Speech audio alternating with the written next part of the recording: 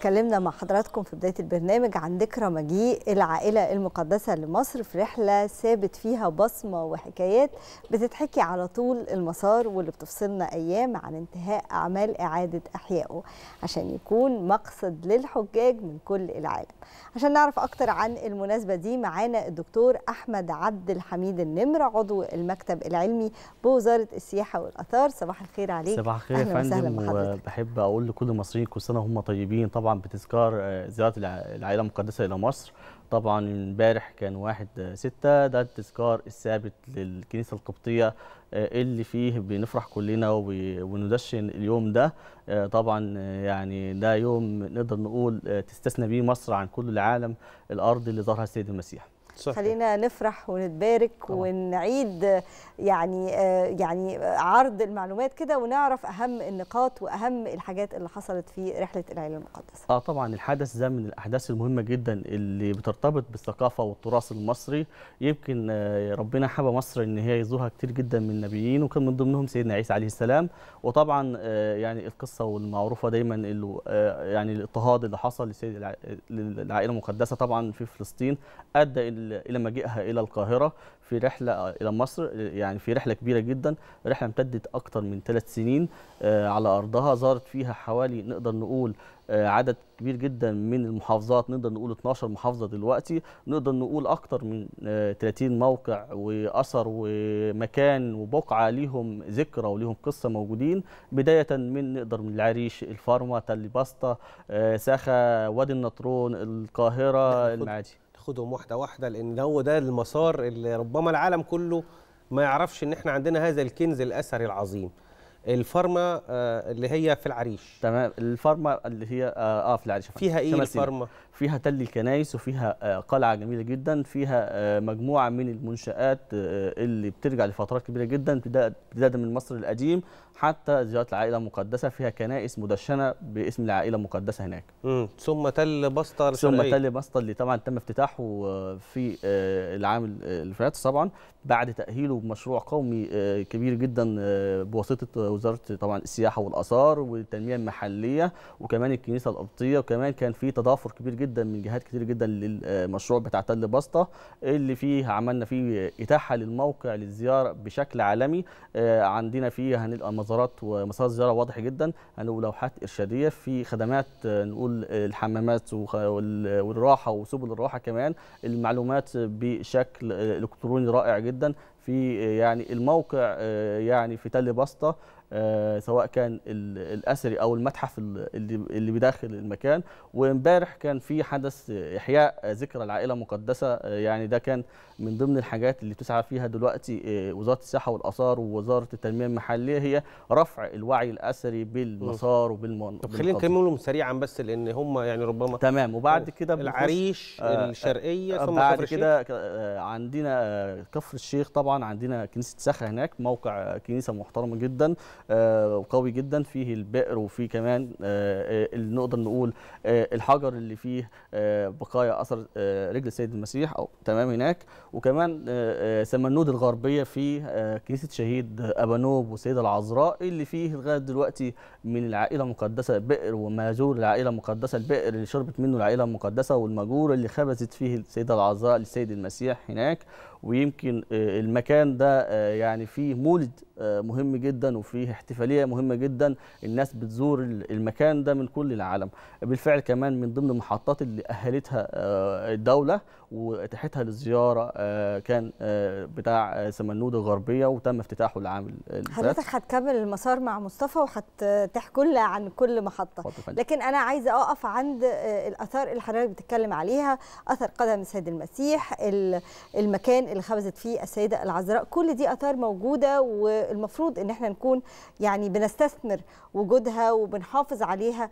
أول حاجة طبعا لأن ده تراث يعني لا نمتلكه وحدنا ده طبعا يخص العالم كله ولبركته الشديدة وأهميته شديده إحنا بنعمل إيه علشان نقدر نحافظ على الآثار دي تكون سليمة تماما وأمنة تماما؟ تمام. المشروع هو مشروع قومي آه، كبير جدا بتوجيهات من فخامة الرئيس طبعا. المشروع كان بدأ بكذا دايرة. الدايرة الأولانية إحنا ابتدينا نوثق كل حاجة تخص المسار. من آثار من حكايات من روايات من كل معلومات موجودة تخص العائلة المقدسة. تم توثيقها بالفعل. وكان من حسن آه، الجميل فيها إن إحنا لقينا فيها تفرد غير عادي لمصر. فده خلانا إن إحنا نبتدي نشتغل عليها كملف لتسجيلها على قائمة التراث العالمي. وبالفعل تم الانتهاء منه وتسليمه دلوقتي للمنظمة للدراسة والتحكيم وإن شاء الله قريب جدا نبارك لمصر ضم آه، يعني المسار على قائمة التراث اللامادي قريب جدا إن شاء الله. آه، طبعا ده بالتعاون مع وزارات كتير جدا منها الخارجية الثقافة وزارة السياحه والأثار التنمية المحلية منها باحثين منها شباب الباحثين. يعني الملف ده كان فيه ميزة إنه كان أغلب الباحثين اللي موجودين فيه كلهم من الشباب فابتدينا نزور كل المواقع. مفيش شبر مفيش شارع مفيش ضرب إلا كان في حكاية أو في رواية مرتبطة بالمسار ده. آه، كان الأول آه، مرحلة التوثيق دي فعلا انت- انتهت. بعد كده مرحلة كنا ابتدينا التأهيل وال- والترميم والصيانة. وزارة السياحة والآثار والمجلس الأعلى للآثار بالتنسيق مع الكنيسة ومع آه، طبعا الدولة. ابتدينا نعمل مشاريع ترميم منها أبو سرجه منها شجرة مريم منها سمنود منها تل باستا منها آه، دير المحرق منها جبل الطير. بنتكلم عن محافظات كتير جدا من شمال سيناء حتى أسيوط ثم بعد كده آه، بعد مشروع الترميم حاليا شغالين على تأهيل المحيط والمجتمع آه، المحيط اللي موجود داخل. آه، آه، المسار ده وافتتحنا وادي النطرون. آه، يعني آه، كان اللي يزور وادي النطرون كان صعب جدا يروح في زيارة. دلوقتي لا الطرق ممهدة كويس جدا. التشجير وكمان خدمات الميسرة على الطريق اللي موجودة. آه، أماكن الراحة اللي موجودة داخل الأديرة. دلوقتي الأديرة مستعدة لزيارة واستقبال زيارة محلية ودولية آه، بشكل آه، كويس جدا لل- للأماكن. آه، الفترة اللي جاية إن شاء الله آه، نأمل إضافة محطات اللي هي جبل الطير في المنيا والدير المحرق في أسيوط بعد تأهيلهم وكمان شجرة مريم في المطرية طبعا. طبعا. آه، يعني دول المحطات اللي إحنا في انتظار إن شاء الله لانتهاء آه، والكنيسة منهم. اللي على كورنيش المعادي اللي هي آه، طبعا. طبعاً، آه، من السيدة العذراء بالمركب للصعيد. تمام. طب المشكلة كانت في القصة دي يعني الإدارات المتعاقبه اللي جت على مصر كان إن هي في أماكن مش تقدر توصل لها بسهولة. يعني بنتكلم في تل بسطة في الشرقية بنتكلم في العريش بنتكلم في سمنود غربية. هل شرايين التنمية امتدت للحتت دي؟ هل نقدر نقول إن في يعني آه، آه، تمهيد أو آه، يعني آه، آه، آه، طرق وصلت لكل مكان من الأماكن دي؟ إن أقدر أقدر أقول النهارده لأول مرة تقدر تزور أي محطة من العائلة المقدسه بطرق ممهدة آه، مش طرق مش طرق عادية كمان ده طرق آه، عالمية في آه، في في التأهيل والتطوير تلقى فيها خدمات ميسرة كمان على الطرق بتاعتها. أنا بقول لحضرتك إحنا كناش نقدر نروح وادي النطرون ولا تل باستا ولا جبل الطير في المنى لأنها كانت في جزء من الناحية الثانية من النيل. آه، يعني عشان نوصلها مع طريق الصحراء كان صعب جدا اتعمل طريق آه، جميل جدا في دقائق تبقى هناك في يعني عن طريق طريق الجيش دلوقتي. كمان الطريق بقى مش مجرد طريق بس لأ ده عليه خدمات ميسرة. آه، كانت توجيهات فعلا من فخامة الرئيس ودولة رئيس الوزراء إن إحنا نبتدي نشتغل على البنية التحتية من طرق وتمهيد عشان نقدر نعمل إتاحة آه، سواء للاستثمار السياحي أو الاستثمار المحلي داخل المحطات المحطات دي دي الخطوة اللي بعد كده آه. بقى الناس ع- مش بس عايزة تمشي الناس عايزة تقعد وتبات. وتتبارك بالظبط عشان نبتدي. بعد كده مرحلة ال- البناء الاستثمار السياحي الفنادق تبتدي تشتغل نقدر ندخل آه، دخل ونقدر نحافظ فاحنا ابتدينا بجزء الحفاظ الأول هو بتاع التوثيق والصيانة وخلص الحمد لله كله تمام وكمان التأهيل والبنية التحتية نقدر نقول أغلب أو 80 أو 85% من المحافظات. يعني إحنا بنتكلم تل الفرمه نفسها اللي في شمال سيناء اللي الناس تقول صعب جدا. لا ده الطريق ليها خلص وكمان جاهز للافتتاح قريب جدا. وكمان هيكون في مشروع قومي آه، إن شاء الله هتعلن عنه وزارة السياحه والآثار قريب جدا خاص بتل الفرمه قريب جدا. طيب. التوثيق. فكرة التوثيق في اليونسكو دي خطوة اتاخرت ولكن التأخر وأن تأتي متاخرا خير من الا تأتي. فلما نيجي نقول إن إحنا في المرحلة دي فعلا تم الإنتهاء من الملف وتم آه، يعني هو موجود بالفعل دلوقتي عند اليونسكو بيجرى قريبا جدا إن شاء الله إن يتم شاء الله. إعلان التوثيق. إحنا كنا محتاجين إيه عشان نقدر نعمل ملف محترم نقدر نوثق بيه آه، رحلة العائلة المقدسة. هو ال- الملف كان في الفترة الأولانية بنتكلم في 1970 كانت ملفات حاجة بسيطة جدا. يعني الموضوع الدولة بتتقدم عادي جدا بالاسم المخصص أو أو العنصر الثقافي اللي بتسجله وخلاص بتسجل. لا دلوقتي أصبح في ملف له قواعد ليه اتفاقيه في آه، طبعا خطة كبيرة جدا. الأول بيبقى تقرير علمي قوي جدا بيثبت إن العنصر ده مفيش مش موجود بس فقط إلا في مصر. طبعا ده بي- بيحتاج إن دراسات علمية كبيرة جدا متخصصة في الموضوع ده. ثم بعد كده آه، إزاي أعمل صون ليها؟ إزاي إن أنا أحافظ عليها؟ إزاي أقدم خطة إدارة لها؟ فلازم أنجح إن أنا أقدم لليونسكو منظمة اليونسكو إن أنا أقدر فعلا بعد ما هسجله إن أنا أحافظ عليه. فكل الإجراءات دي بتبقى بتاخد وقت كبير جدا وبتاخد وقت إن يبقى فيها تضافر كبير جدا من الجهات. لأن النهارده الموضوع مش يخص وزارة السياحه بس لا ده كل الوزارات لازم يبقى معنية بالملف ده كله. وده اللي حصل في العائلة المقدسة يمكن من الملفات اللي ظهر فيها تضافر الدولة كلها. أنا بتكلم عن أغلب المحافظ أغلب الهيئات والمؤسسات الحكومية والغير حكومية ممثلة في ملف العائلة المقدسة اللي, اللي فعلا موجود في آه، منظمة اليونسكو. اللي نقدر نقول هو لقى إعجاب كتير جدا من آه، استشاري المتخصصين في التراث العالمي. وإن شاء الله يعني نتبارك آه، يعني مم. بتسجيله على قائمة التراث المادي لا مادي قريب جدا بإذن الله. طيب الطبيعي إن السايح لما بيجي بيزور مكان اتنين تلاتة من دول هل إحنا عملنا رحلات لأفواج من الحجاج المسيحيين اللي جايين عايزين يشوفوا آه، آه، الأماكن اللي مر بيها سيدنا عيسى وستنا مريم؟ أشكرك على السؤال ده. إحنا يكاد لا يمر أسبوع إلا في فوق تجريبي لكل محطة من المحطات لسه بيمشي في كل ده ولا لا بياخد بيبقى آه، بيبقى محطات معينة عشان بس بناخد آه، رد فعل طبعا وبيبقى كمان ده مش بس أفواج لا ده من شركات السياحة العالمية بتيجي بتزور الأماكن ده. في أفواج جت من إيطاليا جت من فرنسا. زارت ال- آه، ال- المواقع دي آه، آخر حاجة الأسبوع اللي فات أعتقد بالظبط آه، كان في جبل الطير ده في المنيا. يعني بنتكلم في آه، يعني وسط الصعيد. آه، كان في فوج هناك وزار ويعني أبدأ إعجابه جدا لأنه المكان هناك رائع جدا. أنا أدعو يعني من منصة آه، طبعا التلفزيون المصري بدعو كل المصريين وبدعو كل الأجانب إن فعلا يبتدوا يزوروا المواقع. النهارده المواقع بشكل آه، مختلف. آه، الأماكن فيها ميسرة هيلقى فيها خدمة خدمة كويسة جدا هيلقى فيها معلومة متاحة كويسة جدا لل آه، للزائر إن شاء الله. افتتاح آه، مسار العيلة المقدسة. إن شاء الله هيكون قريبا. متوقعين إن إحنا ننتهي آه، في خلال قد إيه؟ وإيه اللي متوقعين نشوفه في الافتتاح؟ إحنا بنجري كويس جدا آه، بس إحنا الموضوع زي ما حضرتك قلت محطات كتير جدا فإن شاء الله إحنا اللي باقي قليل جدا. يعني باقي إن شاء الله بالنسبة لنا تل فرما آه، خلاص قرب ينتهي التأسيس اللي هو الحاجات التأسيسية. جبر الطير خلاص أوشكنا على الانتهاء. المحرق اوشك اوشكنا على الانتهاء فقريبا جدا هيبقى في إطلاق للمسار كله إن شاء الله من الفرما حتى أسيوط. إحنا دلوقتي المسار جاهز بالفعل نقدر نقول القاهرة آه، آه، الشرقية آه، سمنود الغربية كفر الشيخ جاهزين وادي النطرون لسه الأسبوع اللي فات تم افتتاحه فاحنا بنتكلم عن خمس ست محافظات أهو من ضمن المحافظات اللي موجودين.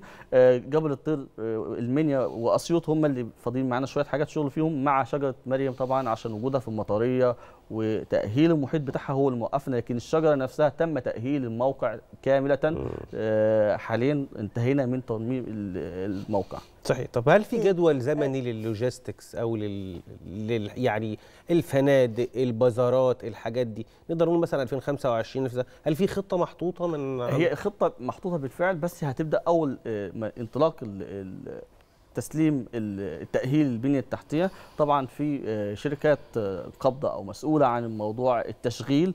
فده هيكون يعني عقب على طول هيتم الانتهاء منه هيبقى في إعلان برنامج كامل لكل ال- المحطات دي.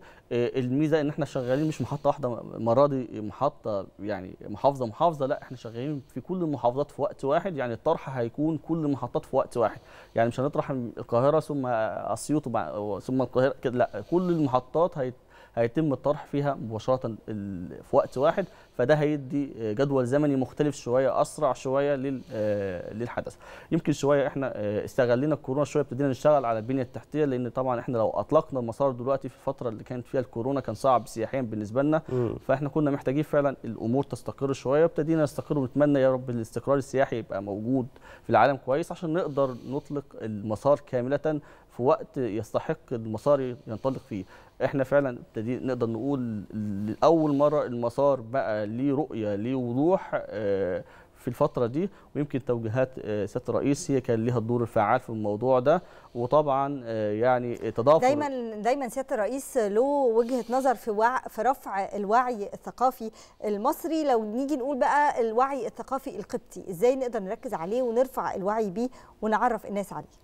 آه طبعا إحنا يعني كان من ضمن الحاجات اللي آه، استهدفناه كان الموضوع ده الوعي. الوعي طبعا كان مهم جدا بالنسبة لنا. يعني أنا أقدر أقول آه، أنا شرفت بإن أنا مسؤول عن الملف ده من 2016 من 2016 حتى الآن لا في فرق شاسع جدا. النهارده لو أنت آه، يعني كلمت حد يقول لك آه العائلة مقدسة. الموضوع اخ- اختلف. في رؤية دلوقتي في مكان.